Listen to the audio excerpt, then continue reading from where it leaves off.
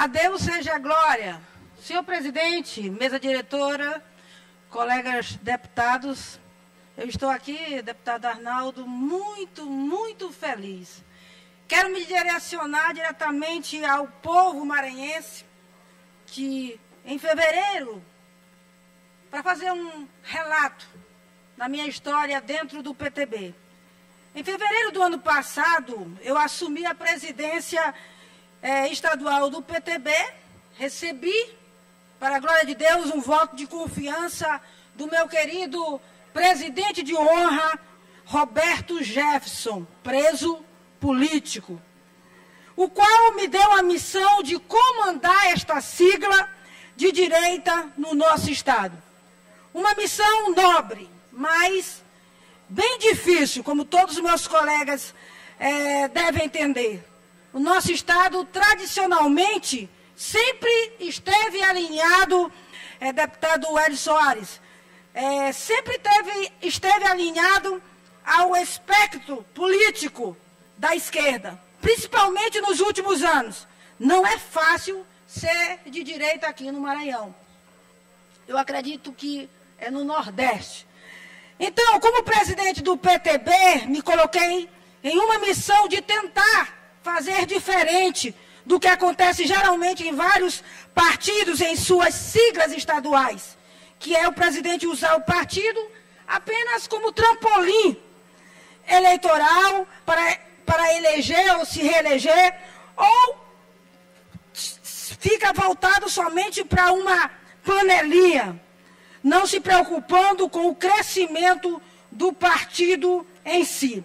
Eu sempre senti no meu coração que não era isso que eu queria.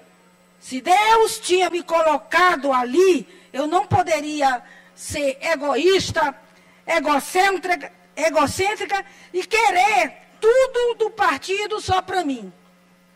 Então, transformar o partido, é, o PTB, somente da Mical, jamais eu poderia é, fazer isso. Nunca foi o meu pensamento. Eu, é, o meu propósito, então, sempre foi é, em fazer o PTB crescer e solidificá-lo como principal partido de direita no Maranhão. E pela graça de Deus, nós estamos conseguindo conseguimos atrair várias lideranças de direita. É, ontem, né? Conseguimos, para a glória do Senhor.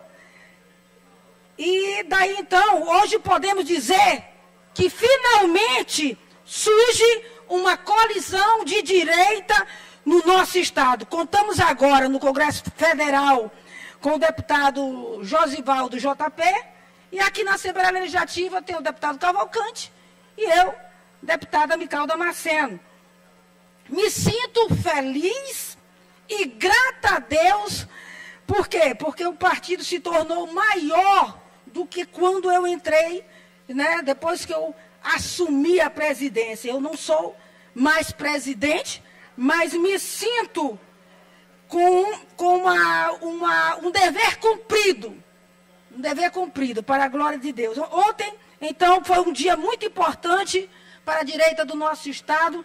Finalmente conseguimos nos reunir e decidimos montar um projeto político essencialmente de direita, com candidatos a todos os cargos na próxima eleição. Chapa pura, é, deputado Hélio do Curso. Nós vamos ter candidato a governo do Estado, ao Senado e, e nossa nominata para federal e para estadual está muito bem, tudo isso para a glória de Deus. Pela primeira vez, o PTB do Maranhão terá um candidato a governador e esse candidato será o prefeito Laésio Bonfim. Um candidato que está alinhado aos nossos princípios partidários, que são a defesa da família e do conservadorismo. Teremos também candidato ao Senado, como eu falei, o nosso querido pastor Bel, é, até da própria minha denominação. Isso fora uma lista grande de candidatos, e aqui Eu quero convidar todos os conservadores que estão me ouvindo nesse momento, faço um apelo para que venha para o nosso partido. É, porque está aqui aberto as portas do PTB, a sede do PTB está ali no Aririzal, em frente ao, aos Aririzal Center. Então, aos nossos amigos maranhenses de direita, conservador, que queiram é, sair como candidatos a deputado estadual, a deputado federal, as portas do PTB estão abertas.